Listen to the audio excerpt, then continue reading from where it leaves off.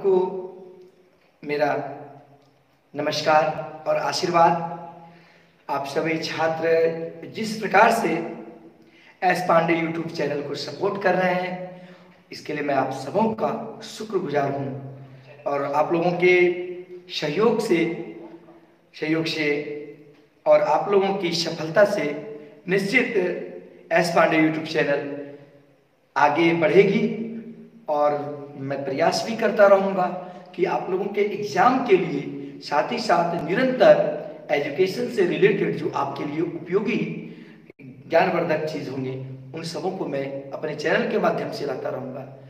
इसी प्रकार आप लोग मेरा साथ देते रहें और साथ ही बता दें, वर्तमान समय में जो अभी की क्लास है, ये रॉल्स थ्योरम क्लास ट्वेल्थ की, क्लास ट्वेल्थ की जो एग्ज़ाम आने वाली है इसके लिए काफ़ी इंपॉर्टेंट सारे क्वेश्चन बता रहे रॉल्स थ्योरम का।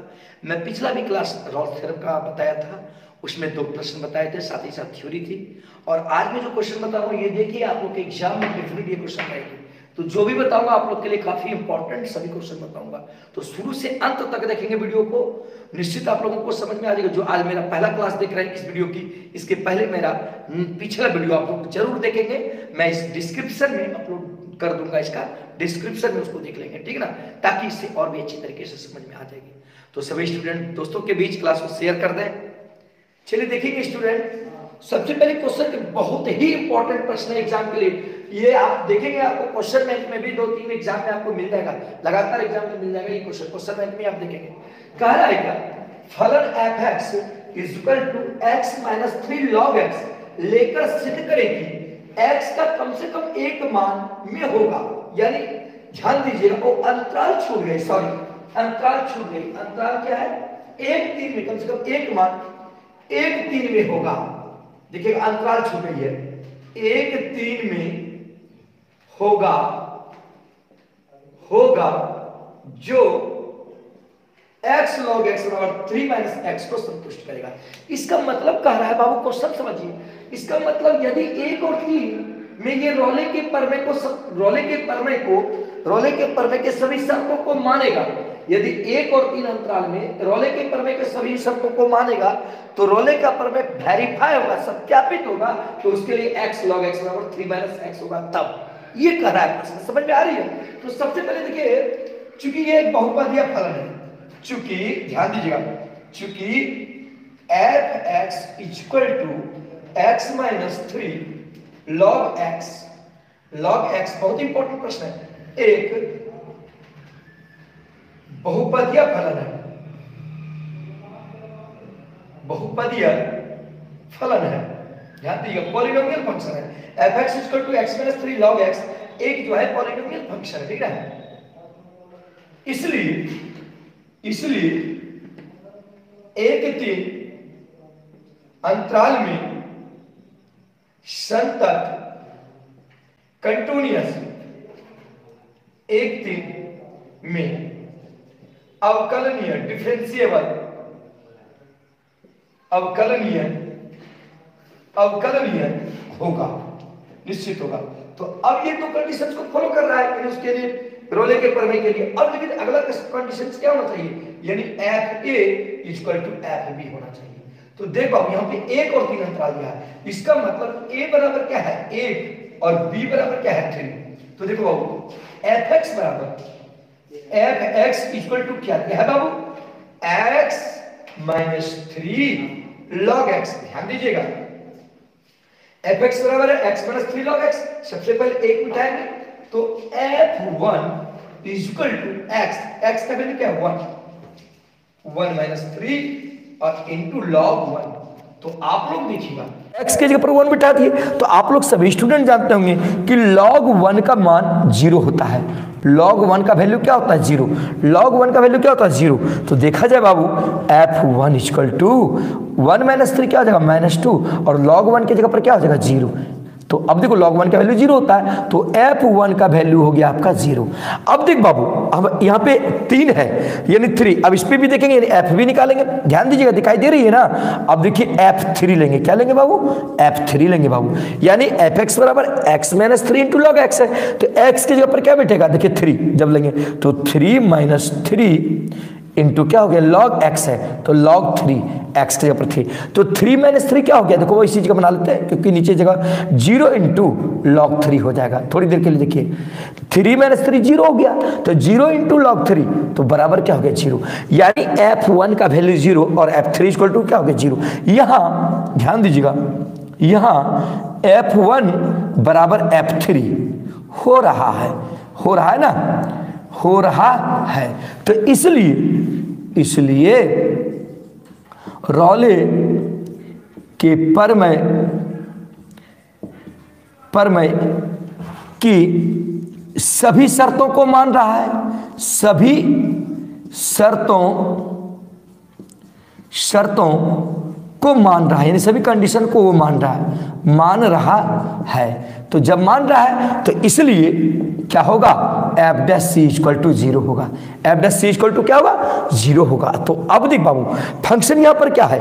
एफ़ एक्स तो देखो बाबू एफ़ एक्स बराबर फ़ंक्शन क्या है? F X is to X minus three log X X log X है ना? अब देखिएगा, आप लोग सभी विद्यार्थी, ध्यान दीजिएगा। अब सी बैठा लेते हैं या सी नहीं भी बैठाएँगे तो काम चलेगा। क्यों बाबू? क्योंकि ये देखिए, अंतराल जब तीन दिया है, थोड़ी देर के लिए देखिए, जैसे मान लिया, देखिए ये एक्स अक्ष है, ये वाई अक्ष है, ठीक ना? अब देखिए ए यानी ये ज़ीरो होता है ये देखिए वन टू थ्री फोर ये एक्स एक्स डस्ट वाई और वाई डस्ट तो जैसे एक और तीन यानी यहाँ से यहाँ तक के बीच का मान है, ठीक है ना? तो अब बताइए, ये जो एक्स अक्ष पर, ये एक्स का ही मान है। एक और तीन किसका वैल्यू है? एक्स का। क्योंकि एक्स के जगह पर ही एक बैठता है और तीन के जगह पर ही एक्स के पर ही तीन बैठता है। तो ये जो है, बाबू ध्यान दीजिए, इसी के बीच में कोई मान आता है। तो इसी के बीच में किसका मान आता है? एक्स का ही ना मान आता है, क्योंकि इसके बीच में है कि नहीं? एक्स का ही मान आता है तो हम सी ले भी सकते हैं या नहीं भी ले सकते हैं। या सी लेकर के बनाएँगे तो बाद में हम एक्स भी बिठा सकते हैं। जैसी इच्छा आपकी। तो अब देखिए differentiate with respect to X differentiate with respect to X हम सी लेकर के भी बनाएँगे तो कोई दिक्कत नहीं है। बाद में हम एक्स बिठा देंगे, क्योंकि आखिर एक और तीन के बीच का ही मानना है। तो एक और तीन किस अक्ष पर है? एक्स अक्ष पर। तो एक और तीन के बीच कोई भी जो माना है वो एक्स का ही मानना आएगा। समझे ना? तो differentiate with respect to X तो एफ़ डेस्ट एक्स तो यहाँ F dash C equal to zero चलो भाई, हम बिठा ही देते हैं। तुम लोग को और अच्छा लगेगा। यहाँ सी बिठा दी थोड़ी देर के लिए। तो C minus three log C हो जाएगा, ताकि तुम लोग को लगेगा। बाद अब देख बाबू differentiate with respect to C नहीं भी बिठाएँगे तो कोई दिक्कत नहीं है, ठीक है ना? अब देखो तो एफ़ डैश सी बराबर। अब देखो ये u इंटू वी पर डिफ्रेंसिएशन होगा। u इंटू वी पर। तो देख बाबू, u इंटू वी का जो डिफ्रेंसिएशन होता है, यहाँ पे लिख देते हैं। देखो, u इंटू वी का जो डिफ्रेंसिएशन होता है, आप लोग को सबको पता है, v कांस्टेंट u का differentiation plus u constant v का डिफ्रेंसिएशन होता है ना? तो अब देख बाबू, यानी u तुम्हारा c माइनस थ्री है, v तुम्हारा लॉग c है। तो देखो बाबू लॉग c को पहले बाहर कर लिए। डिफ्रेंसिएशन किसका? किए C minus three D C बटी डी सी अब माइनस थ्री कॉन्स्टेंट टर्म का डिफ्रेंसिएशन ज़ीरो ध्यान दीजिएगा, फिर क्या होता है? प्लस यू बाहर होता है। यू आपका क्या है? C minus three C minus three को बाहर कर दिए। ठीक ना? अब डिफ्रेंसिएशन किसका होगा? लॉग सी का। तो डी लॉग सी बटे डीसी होगा। अब देख बाबू, चूँकि यहाँ रोले की सब, रोले के परमे के सभी शर्तों को मान रहा है तो F dash C equal to क्या हो रहा है? ज़ीरो हो रहा है। इसका मतलब इसका वैल्यू क्या हो गया? ज़ीरो तो ज़ीरो बराबर, देखो ये डीसी डीसी कट गया। ये हो गया log C minus C minus three ये देखो C minus three log C है। लॉग एक्स का डिफ्रेंसिएशन वन बाय एक्स तो लॉग सी का डिफ्रेंसिएशन वन बाय सी होगा। होगा कि नहीं? अब देख बाबू zero equal to log C अब देखो बाबू, अब देखो नहीं कुछ तो नीचे क्या है? एक। नहीं कुछ तो देखो बाबू, नहीं कुछ तो नीचे एक। ये देखो, इसके नीचे है सी एक बटे सी है। इसका मतलब क्या हुआ? सी यहीं पर ना है। लॉग सी का डिफरेंशिएशन एक बटे सी, इसका मतलब सी यहाँ है। तो सी और वन का एल्सियम क्या हो जाएगा? सी हो जाएगा। और यहाँ देखो बाबू, क्या है? ज़ीरो है। ध्यान दीजिएगा। अब ये सी मल्टीप्लाई हो जाएगा। सी लॉग सी माइनस क्या है? सी माइनस थ्री है ना? ध्यान दीजिएगा। सी और एक का एल्सियम सी होगा सी मल्टीप्लाई होगा इसके साथ। मतलब सी लॉग सी हो जाएगा। अब देख बाबू, ये सी जो है ज़ीरो से गुना हो जाएगा। सी इंटू ज़ीरो, क्या हो जाएगा ज़ीरो? तो ये हो जाएगा तुम्हारा C log C minus C minus three ये आपका हो जाएगा। अब देख बाबू, सभी विद्यार्थी ध्यान देना। सारे स्टूडेंट अब हम इस बराबर में क्या है? ज़ीरो। बराबर में क्या है? ज़ीरो। अब इस कंडीशंस को। देखो, इसको हम इधर करना हमको सिद्ध करना था क्या? यानी एक्स लॉग एक्स बराबर थ्री माइनस एक्स तो यहाँ देखो सी लॉग सी लॉग सी देखिए, दिखाई दे रहा है ना? अब ये माइनस में है, जब हम उधर चला जाएगा तो बराबर में क्या हो जाएगा? सी माइनस थ्री बराबर में क्या हो जाएगा? सिर्फ़ सी माइनस थ्री ये माइनस में था, ध्यान दीजिएगा, यहाँ पे क्या था? माइनस सॉरी सॉरी यहाँ प्लस होगा। तो यहाँ पे प्लस ही होगा सॉरी प्लस होगा प्लस होगा, माफ़ कीजिएगा, क्योंकि यह फार्मूला में प्लस होता है। तो प्लस था, अब ये उधर जाएगा तो यहाँ पे क्या हो जाएगा बाबू? माइनस हो जाएगा। क्योंकि ये प्लस था, उधर जाएगा तो क्या हो जाएगा? माइनस हो जाएगा। तो सी लॉग देखो बाबू सी लॉग सी अब देखो बाबू, ये माइनस माइनस माइनस सी अब माइनस और माइनस क्या हो गया? प्लस थ्री तो इसलिए सी लॉग सी थ्री को पहले लिख दो थ्री माइनस सी अब देख बाबू, यहाँ पे जो सी है, आखिर एक तीन अंतराल तो एक तीन कौन है? एक्स एक्स पर। तो सी का जो मान आएगा, वो एक्स से ही डिनोट ना होगा। इसलिए हम, ध्यान दीजिए, इसी जगह पर हम एक्स यूज़ कर सकते हैं। X log X equal to three minus X proved यही तो करना था। यानी x log x बराबर थ्री माइनस एक्स तो x log x बराबर थ्री माइनस एक्स कब आया? जब ये रोले के परमे की सत्यता तो रोले के परमे की सभी शर्तों को एक और तीन पर मान रहा है। तभी आया x log x बराबर थ्री माइनस एक्स तो इसकी बातों को मान लिया कि नहीं? फिर एक बार समझाते हैं। आप लोग बताए सभी स्टूडेंट बत... सभी स्टूडेंट ध्यान दीजिएगा। नेक्स्ट क्वेश्चन आप लोगों को बताने जा रहे हैं, जो कि काफ़ी स्टूडेंट होगी। ध्यान दीजिएगा। देखिएगा।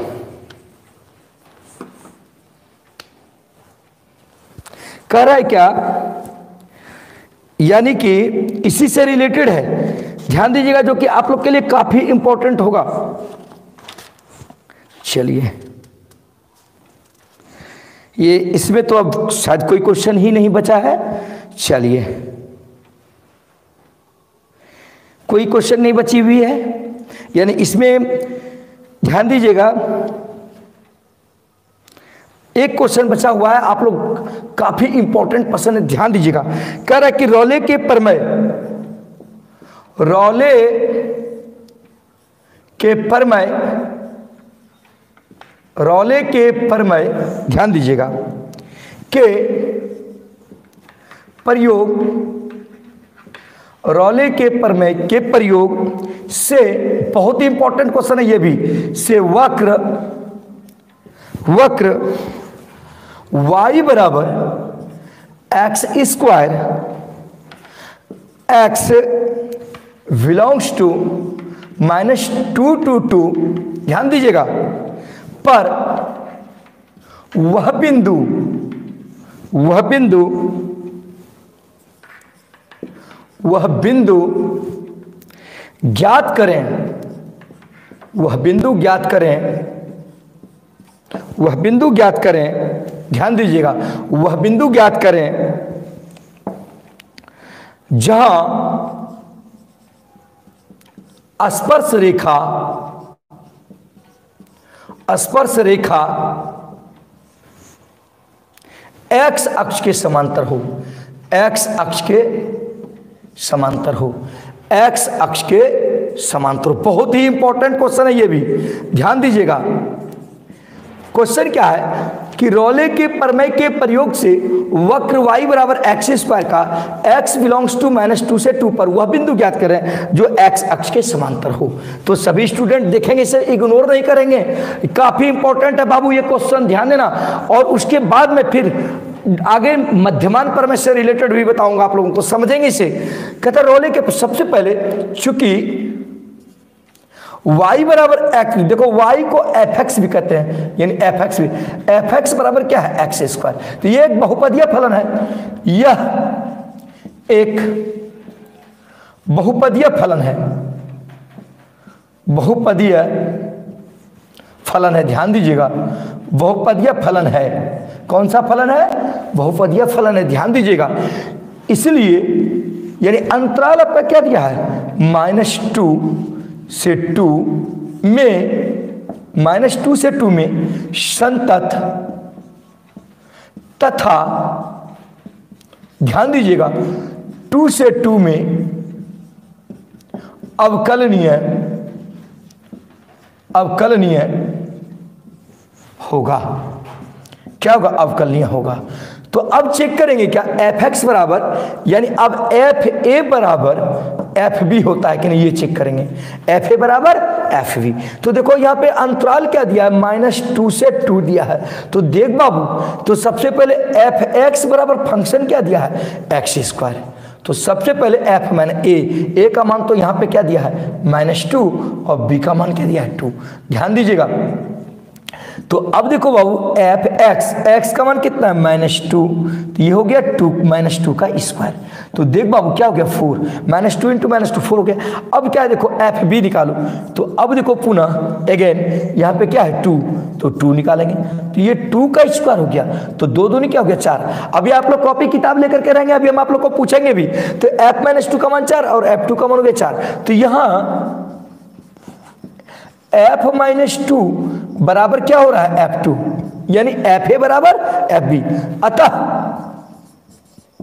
यहाँ रौले रौले के परमय, रौले के परमय के सभी शर्तों को, सभी शर्तों को शर्तों को मानता है। मानता है, ठीक ना? रोले के परमे के सभी शर्तों को मानता है। इसलिए एफ़ डैश सी बराबर क्या होगा? ज़ीरो होगा। एफ़ डैश सी बराबर क्या होगा? ज़ीरो होगा। तो अब देख बाबू, ध्यान देना। अब देखो, यहाँ पे देखो बाबू एफ़ डैश सी थोड़ी देर के लिए। सॉरी पहले एफ़ एक्स निकाल बाबू। एफ़ एक्स तो एफ़ एक्स बराबर क्या है? एक्स स्क्वायर तो एक्स स्क्वायर बैठा दिए। तो यहाँ पे सी बैठता है कि नहीं? क्या बैठता है बाबू? सी देख बाबू का यानी समांतर चेक करना एफ़ सी कर दिए। समांतर है तो। ये समांतर है कि नहीं? ये भी ध्यान दीजिए, देना है आपको। एफ़ सी ले लिए बाबू। अब देखो बाबू, यहाँ पे एक्स स्क्वायर का डिफ्रेंसिएशन यानी सी स्क्वायर हो गया। अब यहाँ सी स्क्वायर का डिफ्रेंसिएशन यानी differentiate with respect to differentiate with respect to C तो अब देख बाबू एफ़ डैश सी बराबर क्या हो गया? सी स्क्वायर तो डी सी स्क्वायर बटी डी सी तो अब देख बाबू एफ़ तो एफ़ डैश सी बराबर क्या हो गया? सी स्क्वायर का डिफ्रेंसिएशन क्या होता है? टू सी सी स्क्वायर का डिफ्रेंसिएशन टू सी अब देखिए, ध्यान दीजिएगा एफ़ डेस सी का मान कितना है? एफ़ डेस सी का मान ज़ीरो तो इसका मतलब सी बराबर टू सी बराबर ज़ीरो तो सी बराबर क्या हो गया? ज़ीरो बटे टू तो ये हो गया ज़ीरो ये सी जो निकलता है, वो एक्स का मान निकलता है। तो इसका सी जो है, वो किसका वैल्यू है? आखिर ये जो माइनस दो और दो के बीच का ही मान है, देखिए ध्यान दीजिएगा, ये जैसे माइनस दो और ये दो लेंगे तो ज़ीरो इसी के बीच में आएगा कि नहीं? तो ये आपका x का ही मान कहलाता है। किसका मान कहलाता है? x का मान। तो इसलिए x बराबर क्या हो गया? ज़ीरो। अब यहाँ पर प्रश्न क्या कर रहा है? देखिए बाबू, ध्यान दीजिएगा, प्रश्न कह रहा है के परमे के प्रयोग से y वक्र y बराबर X square X belongs to minus two two पर वह बिंदु ज्ञात करें जहाँ स्पर्श रेखा x अक्ष के समांतर हो। ये घूम फिरा करके समांतर कर दिया। समांतर तो ही होगा। समांतर तो होगा। क्योंकि आप लोग याद रखिएगा, यदि D Y D X D Y D X का मान ज़ीरो तो वो तो एक्स अक्ष के समांतर होता है। डी वाई डी एक्स बराबर ज़ीरो तो वह एक्स अक्ष के समांतर होता है। समझे कि नहीं? याद रखिएगा। ये ऑब्जेक्टिव में भी पूछ सकता है कि यदि डी वेक्टर डी एक्स बराबर ज़ीरो तो वो किस अक्ष के समांतर होता है? तो वो एक्स अक्ष के समांतर होता है। समझे कि नहीं? अब पूछेगा, इसको पूछेगा कि सर क्यों डी वेक्टर डी एक्स बराबर यदि ज़ीरो होता है तो वो एक्स अक्ष के समांतर क्यों होता है बाबू? कोई भी? तो आप थोड़ी देर के लिए समझा देते हैं बाबू। ध्यान दो बाबू। जैसे मान लो कि ये कोई, मान लो कि ये एक्स अक्ष है, ठीक है? और ये आपका है वाई अक्ष है ठीक है ना? तो अब देखो D vector D X D Y D X को हम क्या कहते हैं? Tan theta D Y D X को टेन थीटा कहते हैं ना? ये टेन एक्स अब देख बाबू, थोड़ी देर के लिए। तो यहाँ पे थीटा का मान कित, कितना डिग्री होगा जो कि ज़ीरो होगा? तो डिफिनिट है कि थीटा का मान जब ज़ीरो रहेगा तो इसका मान ज़ीरो। तो डी बाई डी एक्स बराबर टेन ज़ीरो तो मान क्या होता है? ज़ीरो। कब जब थीटा बराबर ज़ीरो डिग्री होता है। थीटा बराबर क्या होता है? Zero degree. तो देखो जब जो ही देखो देखो बाबू जब ज़ीरो डिग्री लेंगे तो हम जानते हैं कि एक सरल रेखा बनाओ तो ज़ीरो डिग्री। तो कोई भी स्ट्रेट लाइन या सरल रेखा जब एक्स अक्ष के साथ कौन बनाती है तब भी उसका मतलब डी बाई डी एक्स या टेन थीटा जो होता है उसका वैल्यू रहता है। लेकिन यदि एक्स अक्ष के साथ नहीं रहता रहता है तो वो जब एक्स अक्ष के साथ कोई कोण नहीं बनाता है तो इसका मतलब उसका कोण क्या होता है? Zero degree. तो इसका मतलब वो वाई अक्ष के साथ वो कोण बनाता है वाई वाई अक्ष से बनाता है। और यहाँ पे वाई अक्ष के साथ कोण बनाता है, समझे कि नहीं? एक्स अक्ष के साथ नहीं कोण। तो इसका मतलब इस एक्स अक्ष पर कोण नहीं बन रहा है तो एक्स अक्ष के कोण नहीं बनेगा तो डिफिनेट है, वो ऐसे जाएगा, कहीं प्रतिच्छेद करेगा। तो इसीलिए जब थीटा बराबर ज़ीरो तो वो निश्चित है कि वह एक्स अक्ष के समांतर होता है। यहाँ तो एफ़ डैश सी बराबर ज़ीरो होता है। तो एफ़ डैश सी का मतलब ये होता है क्या? डिवाइडेड डीएक्स डिवाइडेड डीएक्स बराबर ज़ीरो हो रहा है कि नहीं? इसे साफ़ पता चल गया कि समांतर है ही। तो अब देखो बाबू, ध्यान देना।